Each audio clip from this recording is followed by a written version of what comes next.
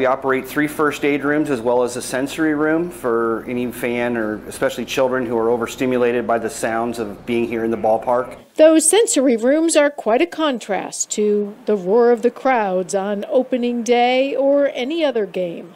But also standing by for the healthiest game days possible. At a minimum, we have one emergency room physician, six paramedics or critic and or critical care registered nurses and an athletic trainer here at all times.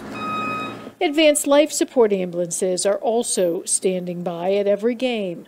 Basic first aid is still a mainstay here with this TriHealth Event Medicine team, but Dave Strickle says there's also been a few emergency readiness upgrades. We've upgraded a little bit of our equipment uh, just to make uh, a little bit safer here at the ballpark. Uh, we've recently purchased a few more uh, cardiac monitors that we'll have here in the stadium. Uh, we also upgraded all of our advanced airway supplies uh, just to speed with any type of rapid intervention that might be needed.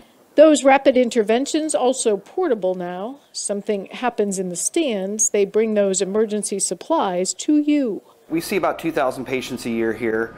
Uh, we have probably two or three major medical events, so better to have everything and respond with it than not to. So kind of interesting. The most common injuries, Dave says, are overheating and dehydration. A reminder that those cooling stations at games as the weather heats up are another way to stay safe on game day and beyond. With your health news, I'm Liz Bonis reporting. Local.